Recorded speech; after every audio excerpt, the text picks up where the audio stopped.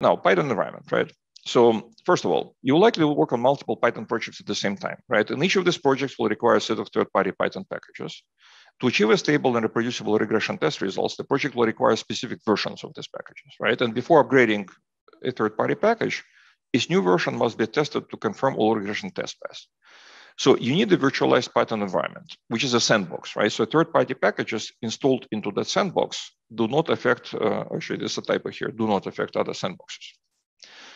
Popular options for virtualized Python environments, right? So if you go to, uh, to PyCharm, it will tell you you can do venv, you can do Conda, uh, and you can do a bunch of others. So venv is a lightweight environment manager for Python, requires a separate package manager, which is actually built into Python.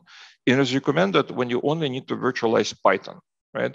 So this is sort of like, uh, I don't know, containers for uh, Linux, where it's a very lightweight piece of uh, code. It just provides uh, packages as an extension on top of a standard Python installation on your machine, right? And Conda, which is the second option, is both package and environment manager, right? So in other words, uh, with venv, uh, there is a separate tool and a separate environment manager. So Conda actually has its own version of both.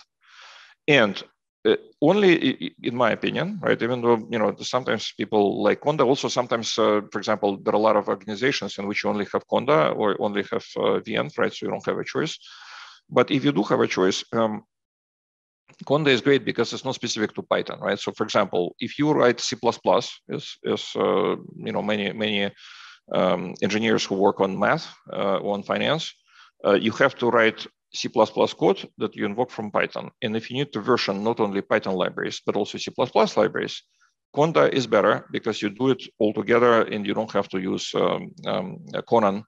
Uh, so there's something called Conan, which you can work in parallel with venv, right? But Conda has both of them in the same uh, package.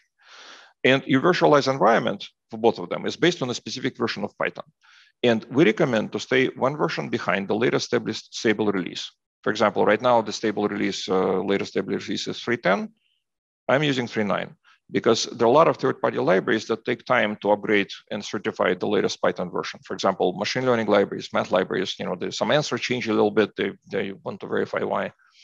So uh, my recommendation is to always stay one version behind the latest stable release.